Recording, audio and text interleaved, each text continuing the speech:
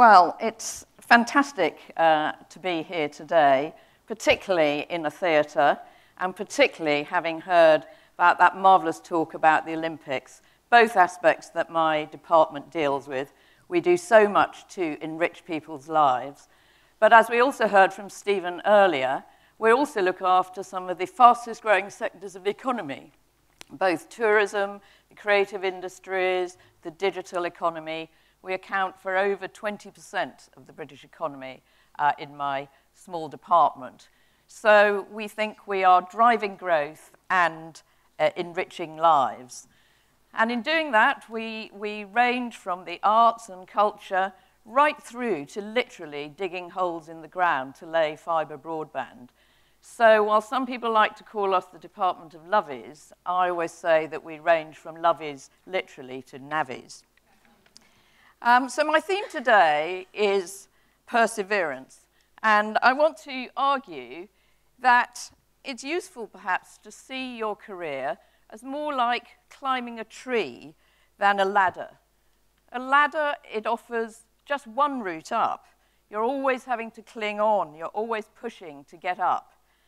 Uh, but in my experience, the, a career is more like climbing a tree. It does take a while to get going but you can grow stronger, more solid roots that you can depend on. You can branch out and you can try different roots. You can pause on a strong branch and gather strength. There are seasons. Sometimes you can grow and flourish. Sometimes there are it all, times it looks a little bit bleak. And there are times when you can catch up after a slow start. There may be times you can have a little nap uh, under the shade. And you can blossom and flourish with new growth, provided that you nurture the tree. So, why has my career uh, suggested this? I never expected to become a permanent secretary. I know many men who assumed that they would. Uh, I know many other men who wanted to get up that ladder. I actually only know one woman who, in her 20s, said she wanted to be a permanent secretary. I thought she was completely mad at the time. Um, but she, she is, and uh, all power to her too. So careers are long these days, and there's no need to hurry up that ladder. There is time uh, to climb a tree. So my career's had three stages, uh, and I've promoted women and diversity at every stage. The first stage of my career, I was an academic economist uh, in Cardiff University, and my research there was on women in the labour market and the lifetime cost of being a woman in terms of lost earnings from lower pay and taking gaps out and so on. Um, but then, after that third, um, my university was involved in an unpleasant merger with, with another one, and I looked to move and I joined um, the civil service. And I spent the second third of my working career as a government uh, economist. And I did work on, on women in one or two jobs there. I won probably the proudest thing I've done in my entire life, actually, uh, during that third, was to introduce paternity leave. I think it's very, very important um, that men get an opportunity uh, to do things in the home. I hope I have improved the lives for a lot of men and women by introducing that two weeks of paternity leave. And then in the third stage uh, of my career, I've been more in, in leadership roles in several uh, government departments, and I've been the champion for all, all sorts of aspects of diversity in that time, women, uh, disability, uh, LGBT, um, and so on. And looking back on my career, the first third as an academic, I really drifted into being an academic. I never had a plan there. Um, but on reflection, I did learn some things in that time. I had some mental health problems, which have made me more tolerant uh, and sympathetic person. I got used to doing public speaking. I learned about bringing youngsters on. But even once I joined the civil service, I never really had a plan. I was never put on a talent program.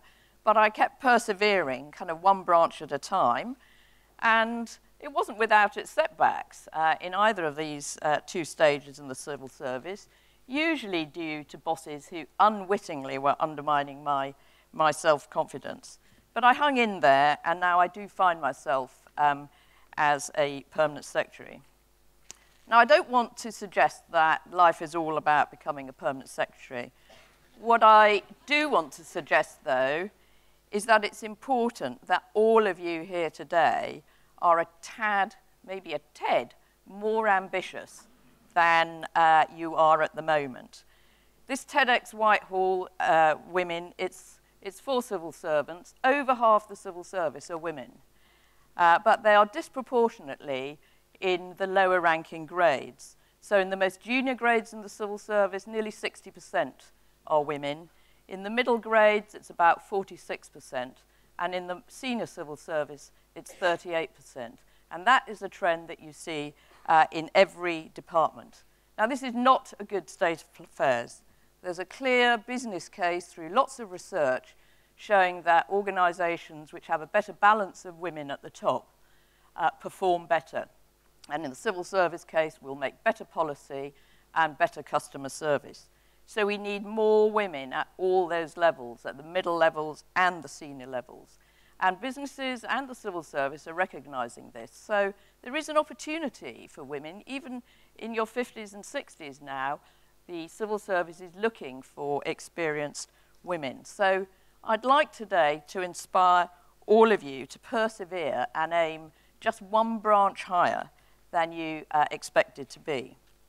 So, what's getting in the way? So, I want to offer you five tips from my own uh, experience. So, the first tip here uh, is to beware of ambivalence. It's very easy to justify staying where you are in your comfort zone. You can think that the jobs above, they look too pressured. You want a life. You can appeal to your caring responsibilities, that you will be a bad mother or a bad daughter uh, if you aim for higher jobs. But actually, in my experience, this is entirely one's own problem. Actually, those folk are very proud of you. My mother's been proud of me every time I've been promoted, so now she really feels like the Queen Mother. and, you know, my son, I mean, I did talk to him about whether I was bad mother when he was about 13, and he said it would never occur to him that I wouldn't work. And, you know, it would be dreadful if I was at home all the time. uh, you know, grumpy and, and frustrated. So, yes, I, I definitely suffered from a kind of nagging ambivalence myself, but I always felt a bit undervalued. And I, looking at the men above, I, I sort of knew really they weren't any better than me. They just had more of a sense of entitlement uh, than I did. So I do think that ambivalence is a sign of a lack of self-confidence. So I think it's important that you have a go and face up to setbacks. Women are far too reluctant to try, far too easily put off by failing. So, you know, if a job is advertised on promotion and it requires six or seven characteristics or skills, the men will typically say, Oh, I've got two or three of those, I'll have a go. Um, and the women say, Oh, well, I've only got six, I'm really clearly not up to that job. And of course, the men, they put in their application, they tidy up their CV, they get an interview, and guess what? They probably don't get the job, but they've tidied up their CV, they've got their name around, they've had some interview practice. And of course, it's normal to fail uh, in getting a job. If you interview only four people, only one gets the job, three don't. So the average experience is not uh, getting a job. And in my, in my, my career, I very rarely got jobs at the first attempt. Certainly when I was promoted to director and to permanent secretary, I, I got the job at the third attempt. So it's important, I think, to treat these things as practice and not as a blow to your self-confidence. Third tip I'd say is to remember the wide range of your skills. Bring all of yourself to work. Domestic skills do count. So think of everything that you've got to give. You know, how many men can multitask, kind of run a house, a garden, birthdays, Christmas, and do a job? Um, I always say if you can get a Christmas dinner on the table by two o'clock with six different vegetables and everything hot, likelihood is you'll be good at project and program management. if, if you can resolve playground disputes, likelihood is you'll be good at dealing with squabbles amongst special advisors. Um, and now this slide isn't a very easy one to see, but it's just a proof that men do appreciate all these skills that women have. This is a birthday card that my son made me when he was 12, and there was a sort of super mum on the front of it. And inside, there was this thing, the eight-handed super mum, and in each section there's a little hand, so there's reading, cooking, living with boy, helping boy, helping boy with mostly everything, trying to relax, uh, buying best house, tidying, and finally uh, working. So I've always kept that as one of my uh, favourite things, and it certainly shows that he uh, was very happy with me working. My fourth tip is about uh, valuing your ability to bring out the best in everyone. So here we have uh, a picture of myself and my son and my uncle outside Everton Football Club, where my lovely, my lovely dad's ashes are under the pitch there. And all my staff know that I support uh, Everton. Uh, Simone, who organised this day, knows that this is pretty much always a character-forming uh, activity. Um, but look, you know, work these days, it's increasingly about teamwork and collaboration and emotional intelligence. And I'm amazed always at how few senior folk know anything about their colleagues or about their staff, whereas I'm much more nosy. I like to know about folk, I like to know where they live and what their hobbies are and all that sort of thing, and it helps to know how to get the best out of them. And, you know, even with ministers, it helps to know a bit about them, to see them more as people facing up to all the huge pressures that, that they're under. And you know, we have amazing people in our offices with huge skills that we're not using. I mean, a lot of the people in the most junior jobs have, do incredible things outside of work. But at work, we don't use those skills very often. They come in and they do a fairly routine job, um, and their work isn't very inspiring. And, and it's incumbent on us uh, to bring out those skills too. I think it also helps understand when people are not perform performing well, because very often that's to do with some horrendous thing that's going on outside their life. And personally, I think it's important that they know something about you. So for me, it's the, the Everton thing. They know I'm a gardener and that sort of thing. It's important that your colleagues know your, your vulnerabilities so that they can help.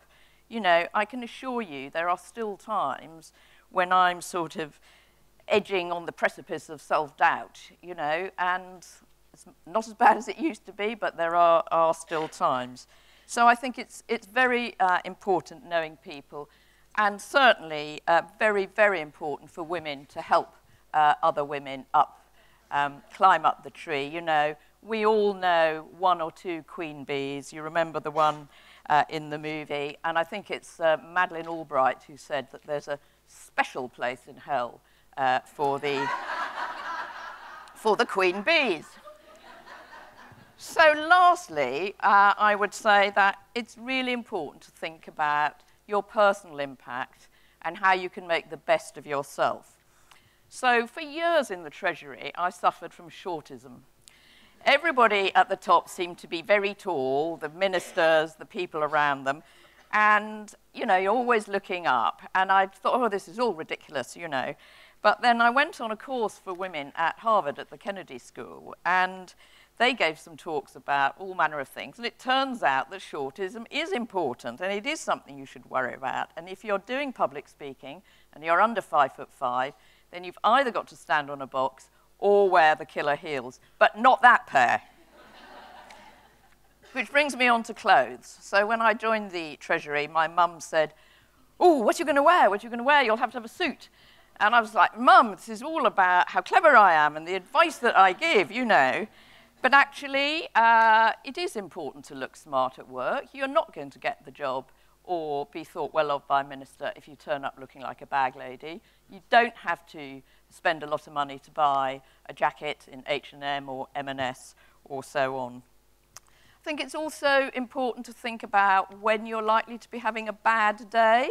Uh, it could be the wrong time of the month, or it could be because you've been at a party or whatever. You know, that is not the time to schedule your staff appraisal. and it is not the time to schedule your appraisal of your own staff.